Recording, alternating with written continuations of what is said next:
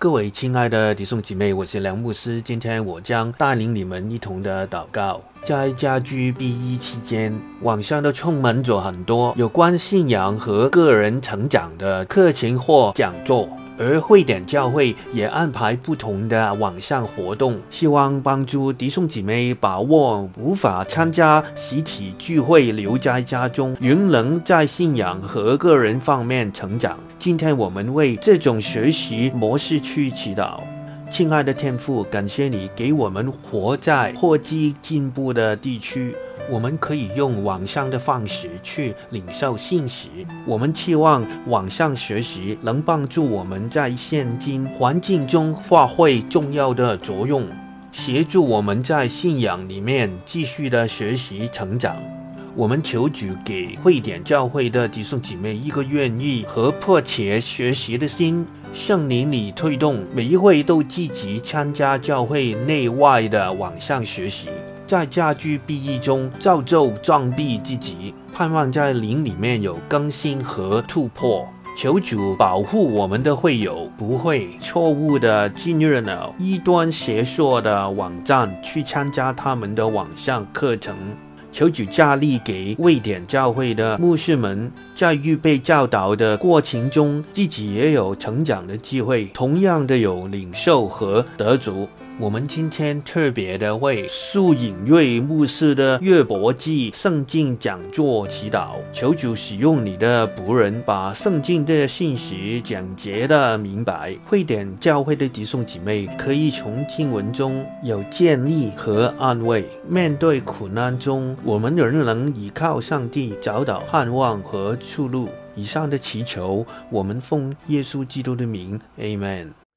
一个五五读经计划强调的东西，需要我们读圣经的时候找一些关键词。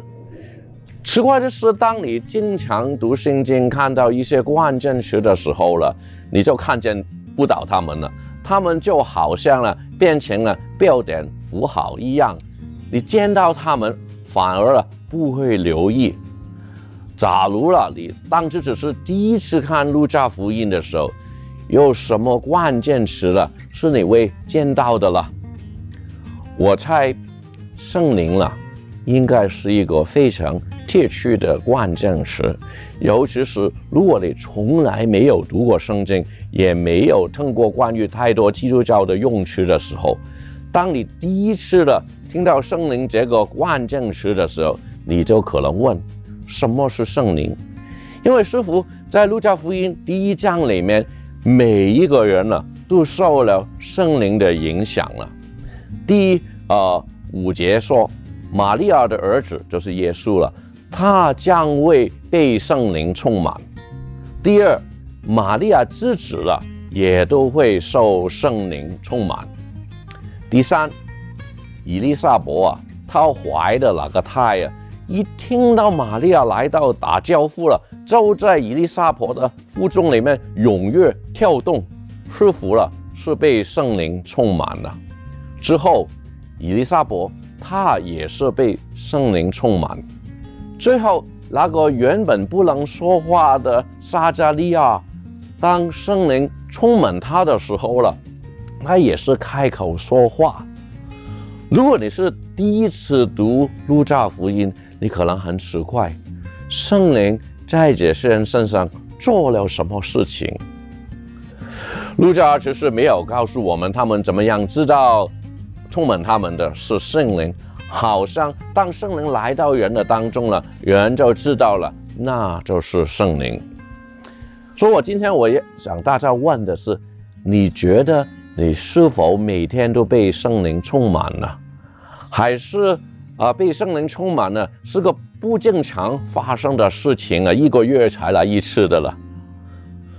其实，如果耶稣与约翰在胎儿的时候了，已经可以被圣灵充满了，你怎么样不能了？而且，让我给做父母的一个属灵实验的建议，其实你不单只可以为子子成持仇圣灵在充满你。你可以祈求你们的儿女被圣灵充满，因为先知的预言在今天仍然未技术的应验，在末后的日子，圣灵会大大的从天而降，灌注到每一个人的心里面。